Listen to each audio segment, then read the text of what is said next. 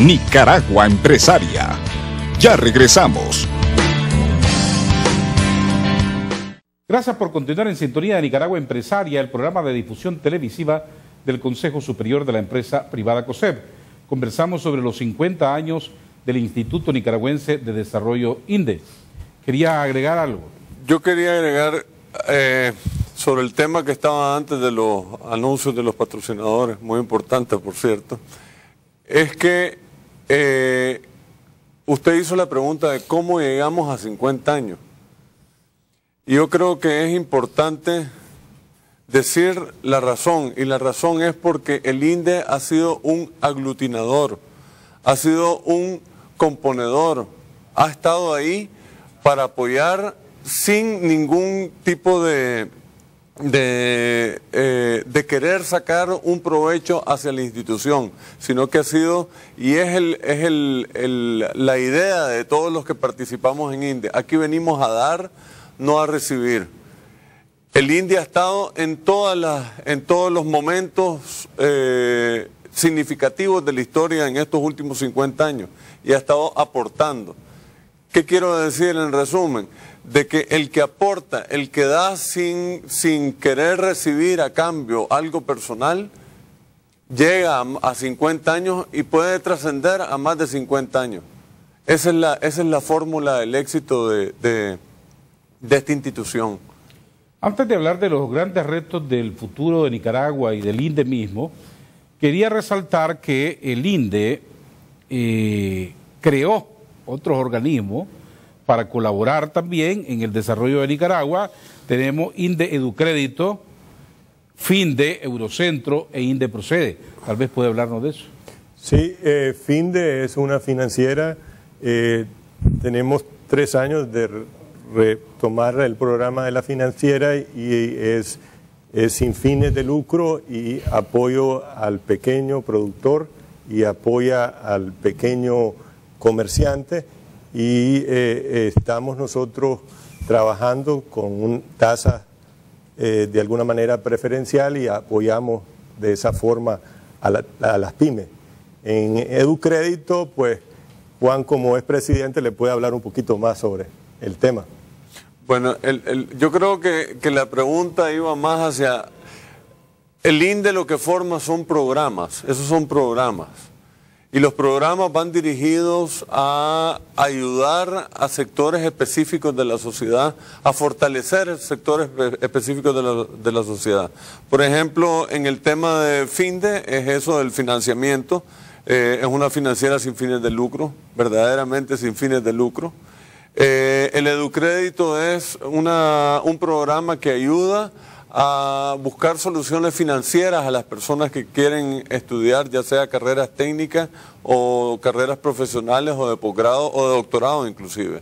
Eh, el Procede era un programa que lo que hacía era, daba unos bonos de capacitación, asistencia técnica, de diagnóstico de las pequeñas empresas, para que el empresario se fortaleciera y viera que la, eh, la inversión en capacitación no era un gasto, sino que era una inversión para crecer. Y tenemos un sinnúmero de, de, historias de éxito sobre el Procede. Eh, el otro programa que para mí es muy importante es Emprendedores Juveniles. Emprendedores Juveniles pertenece a una, a una asociación mundial que se llama Junior, eh, eh, Junior Achievement, que es enseñarle a los jóvenes a cómo ser empresarios, a cómo pensar como empresarios para ir creando esa, esa, eh, esa, esquema de, empresarios y así que crezcan en esa, en esa virtud.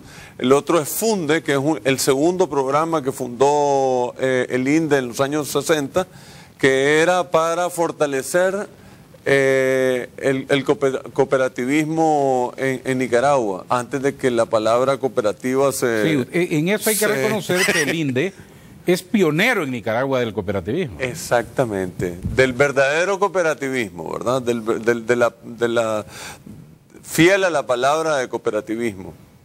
Eh, ¿Y qué otro programa? Bueno, Eurocentro. Eurocentro, Eurocentro es INDECTD también. Eh, Eurocentro era un programa eh, que está ahorita un poco dormido, que es un programa para fortalecer los, los lazos comerciales entre Nicaragua y los países europeos.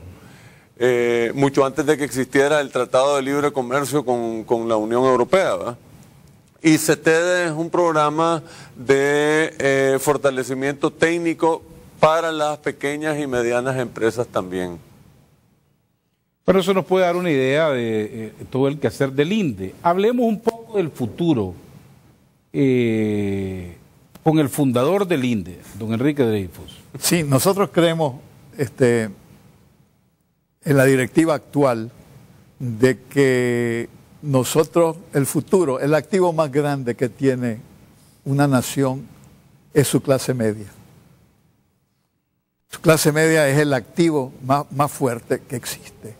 Entonces nosotros tenemos que dirigir nuestros esfuerzos hacia este, todo aquello que puede beneficiar este, a este, las MIPIMES, la micro, pequeña, mediana empresa. Ese es el futuro, la riqueza. En ese sentido, se es allí, con una unidad de acción donde vamos a encontrar poder incidir, esperamos, a través de ellos a la solución de la pobreza que ha sido en el pasado y sigue siendo inaudito, de la inequidad, ya habíamos mencionado los muchos que tienen poco y pocos que tienen mucho, la diferencia entre uno y los otros. Este, la, la necesidad de la eficiencia, de la productividad las cosas. La otra cuestión es, INDE se llama Instituto Nicaragüense de Desarrollo. Yo bromeo con mis colegas diciendo que debía llamarse INDEA, porque debe ser Instituto Nicaragüense de Desarrollo Autosostenible. Si no es autosostenible, nos estamos suicidando. Nadie quiere eso. Ok, y en cuanto a los grandes retos del país, porque ustedes decían, gran parte de los problemas que tiene Nicaragua en este momento, la pobreza, la educación, por ejemplo, 50 años, en 50 años no lo hemos podido erradicar, se ha reducido en algo, pero no lo hemos podido erradicar. ¿Siguen siendo eso los platos fuertes del futuro? Yo creo que sí. Es una cosa de, de que hay que seguir dando, con el, dando y dando y dando y dando hasta que, hasta que logremos pero es que no es, una, no es una, un trabajo de esta institución, es un trabajo de todos los nicaragüenses. Unidad. Es una unidad de propósitos que decía don Enrique. Aquí la verdad es que ni los partidos políticos, ni los políticos, ni los mismos nicaragüenses estamos enfocados en esa unidad de propósitos. Por ejemplo, los planes. Viene un presidente y hace un plan nacional de desarrollo. Viene el siguiente y pone ese en el anaquel y entonces dice yo voy a hacer otro nuevo no hemos tenido la visión de, de, coger ese, ese, esa unidad de propósito, unidad de acción para salir adelante. Yo creo que ese es el, el reto mayor, conseguir una unidad de propósito de todos los nicaragüenses para sacar este país adelante. Y como institución, el INDE, ¿cómo se siente hacia el futuro? Eh, nosotros creemos en el futuro, vemos grandes oportunidades en el futuro eh, creemos nosotros que, como empresariado debemos de, buscar esa unidad dentro del empresariado y con la parte pública, porque los retos son enormes. Son, hay grandes aperturas en los mercados, hay grandes oportunidades para Nicaragua, para Centroamérica, y creemos nosotros que la educación es la base para esa transformación. La educación es lo primordial, lo primero, lo segundo y lo tercero, y en función de eso nosotros creemos que debemos de, crear un nuevo contrato social con la sociedad y en función de eso involucrar a todos los actores. Yo creo que es algo, una responsabilidad de todos y creemos que podemos incidir en esa apatía que existe actualmente. Y, creemos que, es algo que, que hay que hacer ya. Adolfo, Sí. El éxito que Nicaragua como país acaba de tener con la plataforma del Caribe se debió a la unidad de propósito que se dio. Fue usted, usted me habla de la sentencia de la Corte Internacional sí, de Justicia. señor, un logro extraordinario para Nicaragua. Se dio porque la gestión que hace la revolución al principio le dio continuidad el gobierno de doña Violeta. Lo reconoció el presidente de la República. Lo reconoció públicamente cuando informó a Nicaragua en cadena de que se había esa continuidad, esa defensa de la soberanía, había logrado ese éxito. Es un ejemplo real, tajante, de, de, la unidad de propósito, de la trascendencia. Me, me, ha llevado, a, porque como participé en ello, me ha llevado a, a, echarme un poco de agua de colonia, que no me gusta. Me gusta el agua de colonia, pero no me gusta echarme Bueno, pero eso está en la historia y va a quedar en los libros de historia para, para siempre. pero eh, definitivamente que eh, cómo lograr esa unidad de propósito en los tiempos actuales. Educación, salud, eh, productividad, conciencia de que el mundo es otro y el activo más grande, sacar la clase media de esa pobreza. Ok, si le tocara a usted transmitirle eh, un mensaje a los empresarios de hoy, a los empresarios jóvenes, a estos emprendimientos juveniles que patrocina tanto el INDE, ¿cuál sería su mensaje? Sí se puede. Sí se puede cambiar las cosas. Sí, lo hemos demostrado. Sí se puede. Me parece que eso es fundamental. Hace 50 años que fundaron el INDE, ¿se imaginó usted que iba a estar celebrando esos 50 aniversarios? No, por eso le doy gracias a Dios en la mañana y en la noche me ha dado ese privilegio inmerecido.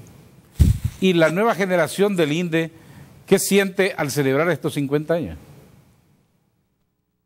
Primero que todo, para mí es un gran orgullo pertenecer a esta institución. Es un gran honor el que mis compañeros de ese momento me hayan escogido para llevar las riendas de esta institución por el tiempo en que la llevé como presidente. ¿2000-2001? Sí, es un, es un, un, gran honor. Para mí es, eh, honestamente, eh, me siento muy halagado, muy... No sé cómo explicar, pues, que verdaderamente eh, pertenecer a una institución como el INDE. Es que el INDE tiene una particularidad y es que no es una cámara sectorial, es una institución que aglutina a todos. Ahí hay comerciantes, ahí hay agricultores, ahí hay ingenieros, ahí hay arquitectos, ahí hay eh, de todo, de todo. Entonces, eso es la, es la riqueza del, del INDE, el, el aglutinar a tanta gente sin estar pensando en que esa participación me va a retribuir en algo personalmente. En lo único que me retribuye a mí es en la satisfacción de haber servido de la forma en que serví y de la forma en que doy mi tiempo, eh, aún no siendo presidente, como expresidente y como miembro del Consejo. La experiencia de las generaciones futuras y cómo van a celebrar estos 50 años.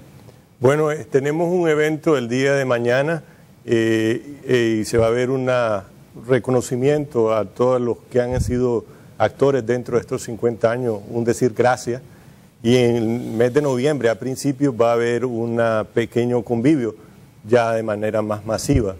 Eh, básicamente queremos decirle a los fundadores, a los expresidentes, a toda aquella cooperación que ha estado con nosotros de la mano, decirles gracias. Igualmente a aquellos actores destacados, que han tenido un rol dentro de la historia. Una de las cosas más importantes y que nos unen a todos los que somos parte del INDE son los principios y valores. Los principios y valores eh, en la vida son cosas que no se negocian. el resto puede negociarse. Y eso pues es algo que, que, que es lo más preciado porque es lo que compartimos y nos hace, nos crea esa unidad que habla don Enrique.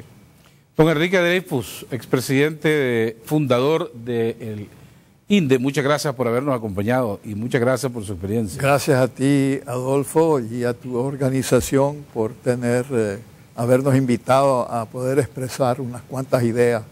Estoy seguro que Nicaragua se lo agradece. Gracias. Juan Lorenzo Alemán, expresidente Holm, del INDE, Juan Lorenzo Holman, perdón, expresidente del INDE, y Eduardo Caldera, vicepresidente del INDE. A los tres, muchas gracias. Gracias Ustedes, usted. amigos Gracias televidentes, no se vayan, que nosotros tenemos mucho más en Nicaragua Empresaria. Nicaragua Empresaria. Ya regresamos.